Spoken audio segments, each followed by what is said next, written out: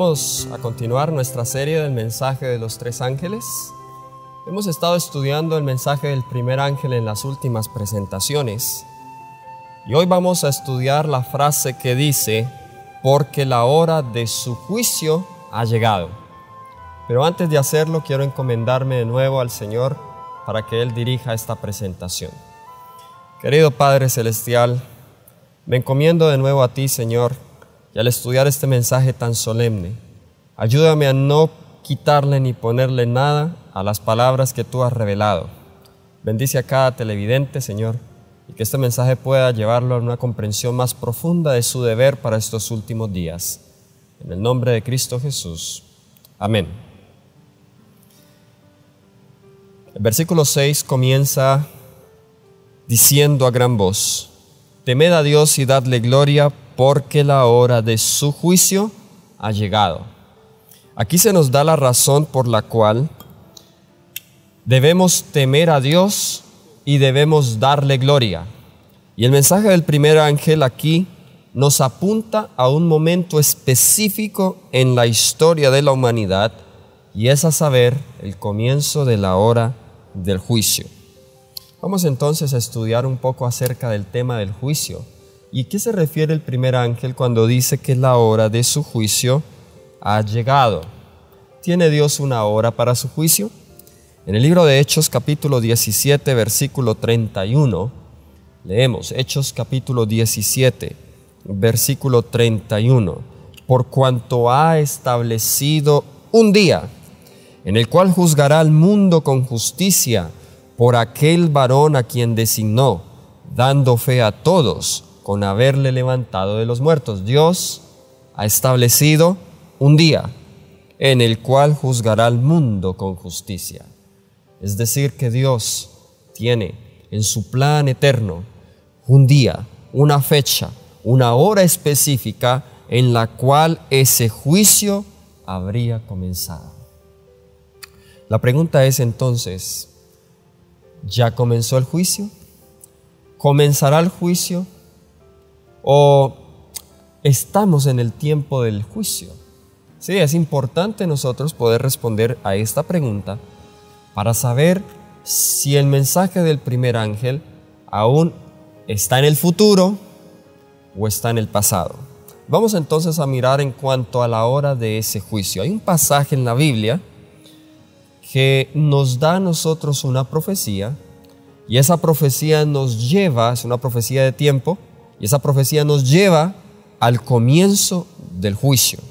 Y vamos a estudiar un poco ese pasaje a esta hora, y es Daniel capítulo 8, versículo 14. Daniel capítulo 8, versículo 14. Nos dice este pasaje, y él dijo, hasta dos mil y trescientas tardes y mañanas, luego el santuario será purificado. Aquí nosotros leemos, se nos habla de la purificación de un santuario. Y tenemos que hacer varias preguntas para poder entender a qué se refiere esto. El contexto de Daniel 8:14 es la visión del carnero y el macho cabrío. Daniel estaba a orillas del río Ulay. Y aquí ve la visión de un carnero y un macho cabrío. El carnero representa Medo Persia, el macho cabrío representa Grecia. Y dice que de ese cuerno del macho cabrío que representa al rey primero Alejandro Magno, salen cuatro cuernos a los cuatro vientos. Esos cuatro cuernos son los cuatro generales de Alejandro Magno después de su muerte. El reino se divide en cuatro. Y luego se nos dice que sale luego un cuerno pequeño y ese cuerno pequeño comienza a hacer guerra contra los santos. El cuerno pequeño de Daniel 8 tiene dos fases, representa tanto a Roma pagana y a Roma papal. Y después de que se ve que este cuerno está haciendo guerra contra los santos, hay un santo que habla y otro que le responde, y el santo pregunta cuándo serán el final de estas cosas. ¿Hasta cuándo serás pisoteado el santuario y el pueblo santo? Y la respuesta es, y él dijo, hasta 2300 tardes y mañanas, luego el santuario sería purificado. Primera pregunta que nosotros debemos responder aquí es, ¿cuáles son esas 2300 tardes y mañanas? Cuando hablamos de tardes y mañanas nos estamos refiriendo a días. De hecho, al final del capítulo 8 del libro de Daniel, vayamos allá, Daniel capítulo 8, vamos a mirar aquí en el versículo, em, vamos a leer en el versículo 26. La visión de las tardes y mañanas que se ha referido es verdadera, tú guarda la visión porque es para muchos días. Vemos aquí que esta visión es para muchos días. Una mañana y una tarde es igual a un día. Y aquí estamos hablando de un periodo profético. De acuerdo a Ezequiel 4:6, un día equivale en la Biblia a un año. Dice, día por alto te he dado. Esa expresión, tardes y mañanas, la encontramos en el libro de Génesis capítulo 1, versículo 5 y los demás versículos. Cuando Dios termina de crear un día, dice, y hubo tarde y mañana, primer día. Así que cuando dice que es para muchos días, podemos entender que no se debe entender, no se debe comprender de manera literal, sino de manera simbólica, porque es para muchos días, es decir, es para muchos años. Otro aspecto importante aquí que debemos resaltar es cuál es el santuario de cuál se habla acá y cuál es esa purificación del santuario. Para poder saber entonces a qué santuario se refiere acá, debemos nosotros determinar cuándo terminan este periodo profético de 2300 días o 2300 años, porque dependiendo de la fecha en cuando él termine, entonces podremos saber a qué santuario se está refiriendo. Pero hay algo que sí podemos saber ahora, y es sobre la purificación del santuario. Había una fiesta judía que se llamaba en hebreo Yom Kippur, o el día de la expiación. Y durante este día, eso lo encontramos en Levítico 16, 29 y 30, el sumo sacerdote entraba al segundo apartamento del santuario. Cada día durante todo el año el sacerdote realizaba lo que se conoce como el servicio continuo o el servicio diario. Él ofrecía sacrificios mañana y tarde, todos los días, tomaba de la sangre de la víctima, o primero el pecador venía con su víctima, confesaba los pecados sobre esa víctima, sobre ese sacrificio, de esta manera simbólicamente transfiriéndolos a la víctima. Esta víctima era sacrificada y la sangre ahora la tomaba el sacerdote y la llevaba dentro del santuario y la esparcía sobre el velo siete veces, sobre el velo que dividía el lugar santo del lugar santísimo. Y luego esto también lo untaba, esta sangre la untaba en los cuatro cuernos del altar del incienso. Y esto sucedía todos los días del año. El pecado que había cometido el pueblo ahora estaba registrado en el santuario. El santuario, por así decirlo, estaba contaminado, no tanto por la sangre, sino por los pecados del pueblo. Así que había una fiesta que se llamaba el Día de la Expiación. Y era una sola vez al año, el 10, el día 10 del séptimo mes de Tishri. Y en ese día entraba el sumo sacerdote al lugar santísimo para hacer expiación por el pueblo, por el altar y por el tabernáculo. Ahora, algunos piensan que la fiesta del día de la expiación era simplemente para purificar el santuario. Pero hay algo más profundo que la purificación del santuario.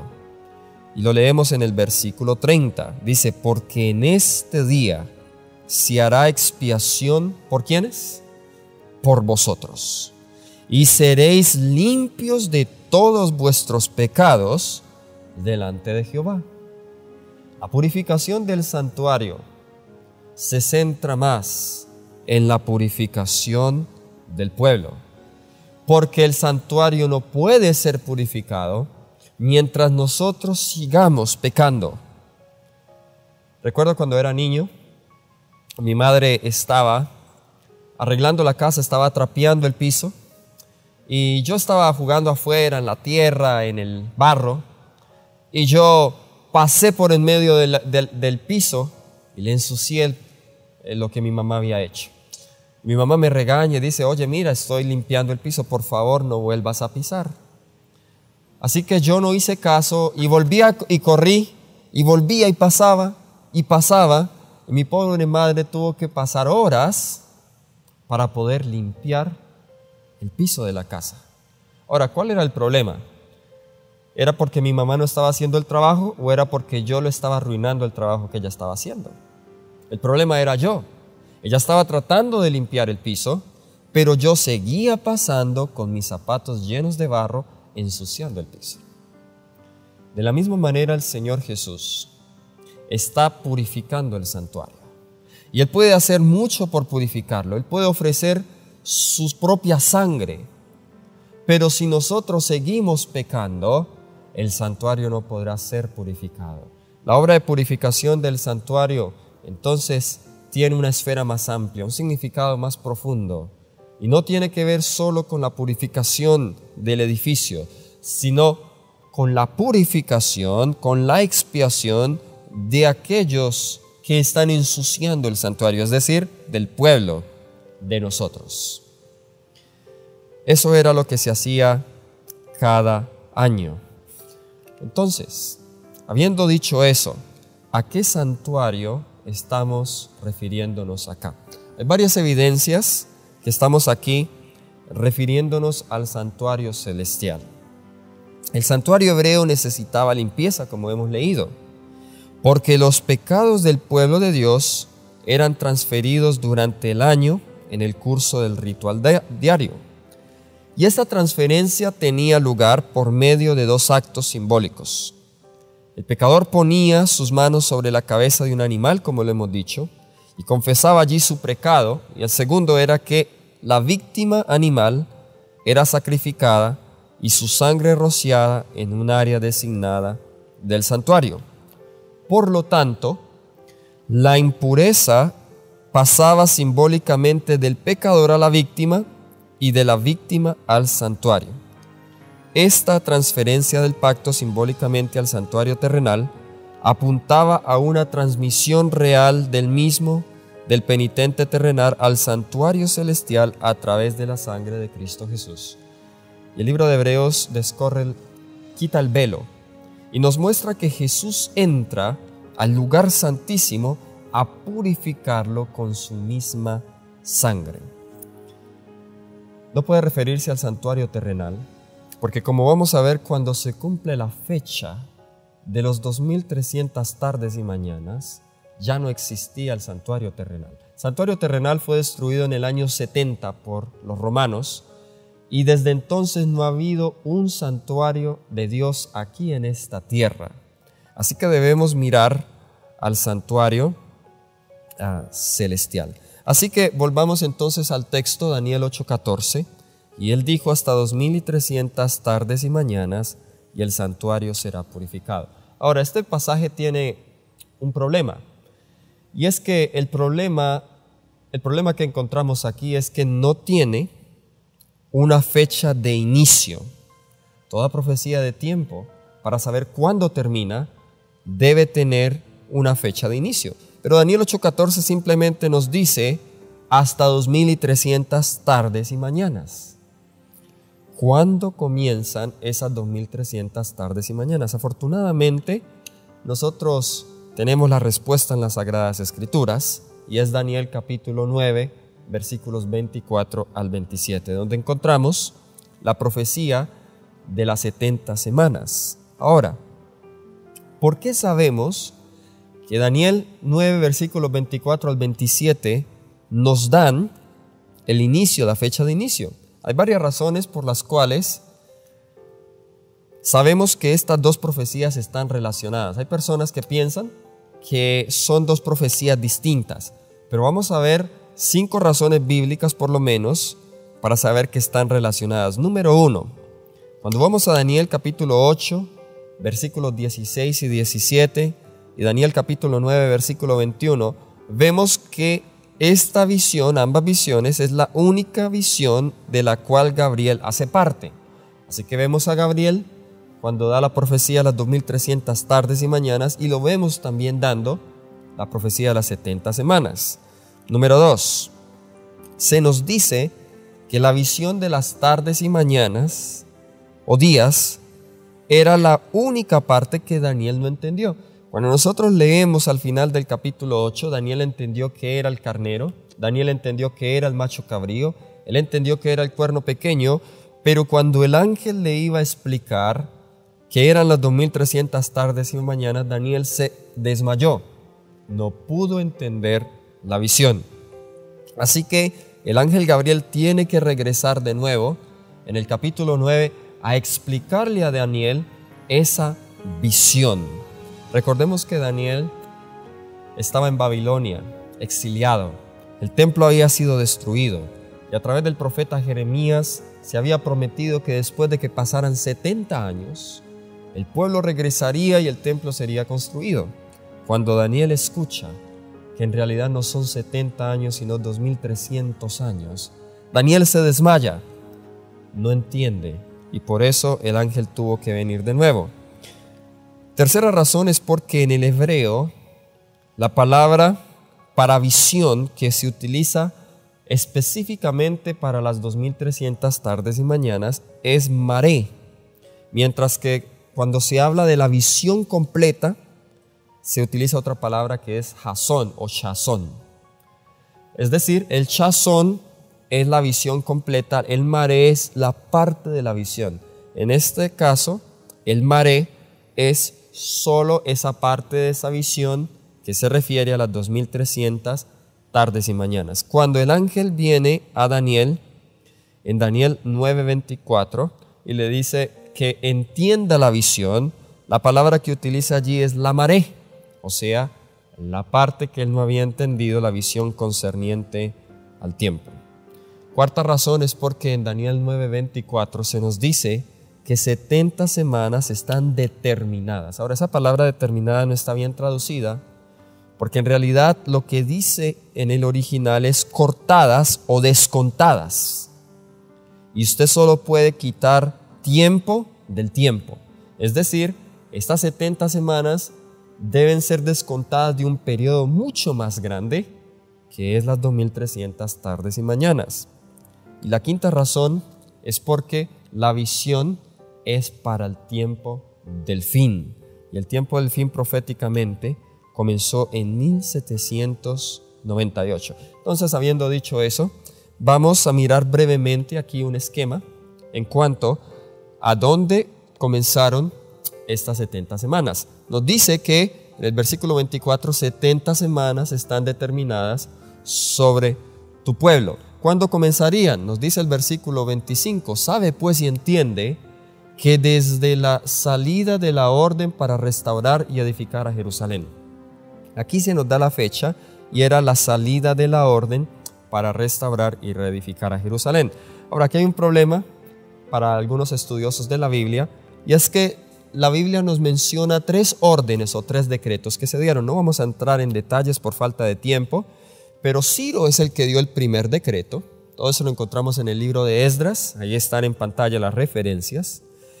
Y el, y el decreto de Ciro fue el que originó la restauración del templo, pero ese decreto no estaba completo.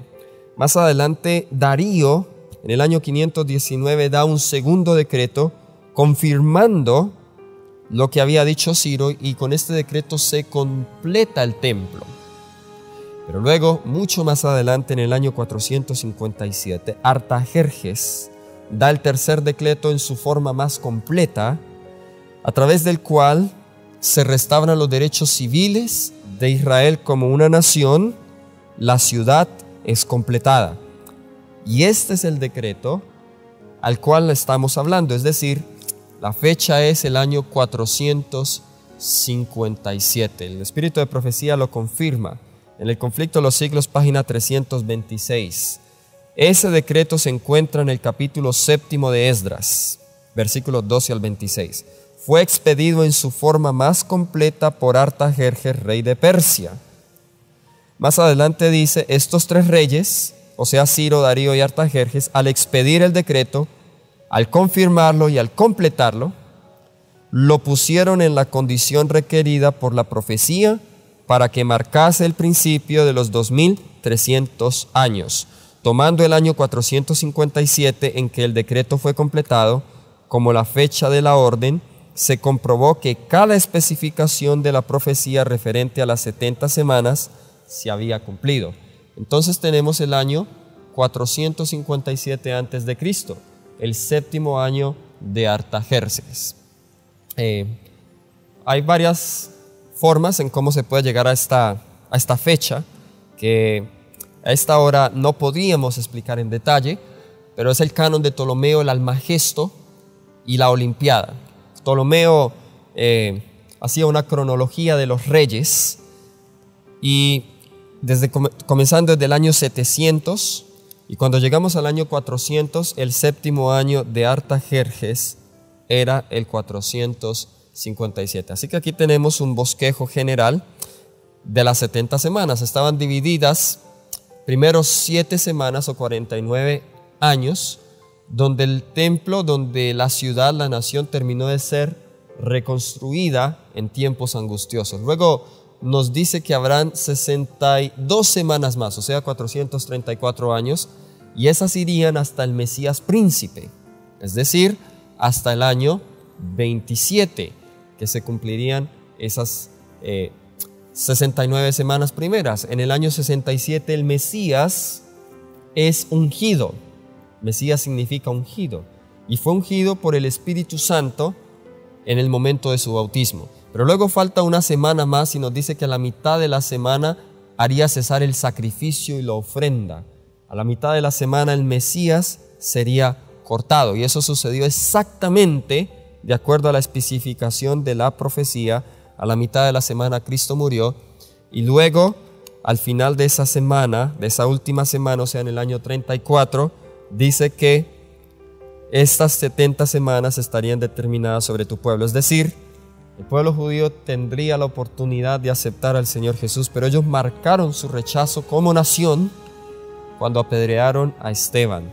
Así que tenemos las primeras 70 semanas o 490 años hasta el año, 4, hasta el año 34. Es decir, que nos sobran 1810 años.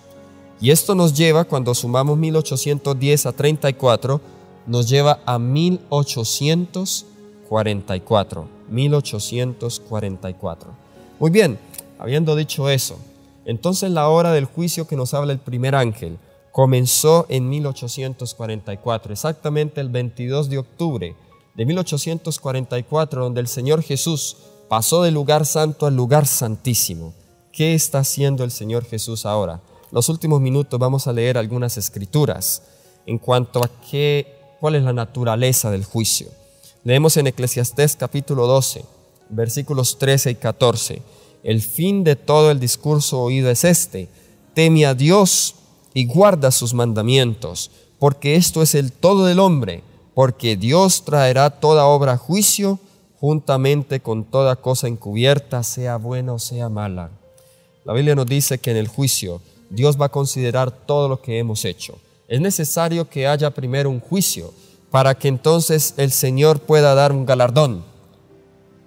La doctrina del juicio claramente entonces elimina cualquier creencia que una persona cuando muere se va al cielo o al infierno. Porque ¿cómo una persona puede recibir su paga si ni siquiera su caso se ha investigado primero? El caso de cada persona debe investigarse primero para que entonces pueda recibir su galardón. Apocalipsis 22, 12 dice, aquí vengo pronto y mi galardón conmigo. Pero el galardón solo puede determinarse si ha habido una obra previa de juicio. ¿Qué tendrá en cuenta Dios en juicio? Obreros Evangélicos, página 330.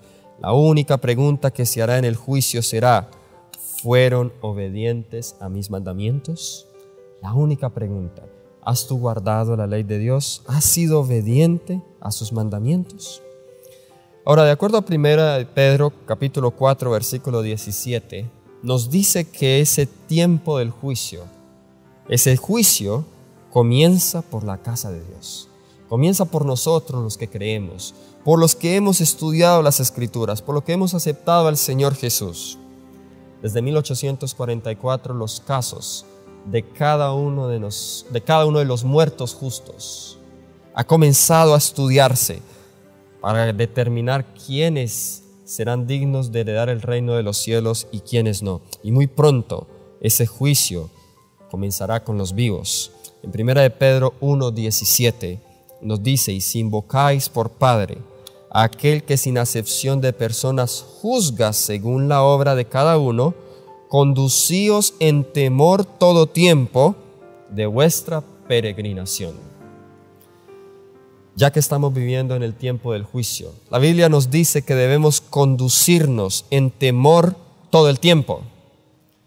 Recuerden que habíamos ya estudiado el temor de Jehová. Y es por eso que se nos dice que debemos temer a Dios y darle gloria, porque estamos viviendo en el, en el tiempo del juicio. Quiero compartir un versículo más este me gusta mucho, que lo encontramos en Primera de Juan, capítulo 4, versículo 17. Nos dice, y en esto se ha perfeccionado el amor en nosotros, para que tengamos confianza en el día del juicio, pues como Él es, así nosotros en este mundo. Hay algunas personas que le tienen miedo al juicio, pero no debemos tenerle miedo al juicio porque si tenemos el amor de Cristo en nuestros corazones, nos dice que podemos tener confianza en el día del juicio. Y esa es la confianza que el Señor nos quiere dar a nosotros a esta hora, a ti y a mí, para que no tengamos miedo, sino que podamos tener la confianza de que Cristo ha borrado mis pecados y me ha dado la victoria sobre ellos. Que el Señor nos ayude a vivir en estas horas solemnes del juicio que ya, es, ya ha comenzado en el cielo, para que podamos vivir en obediencia a su santa ley.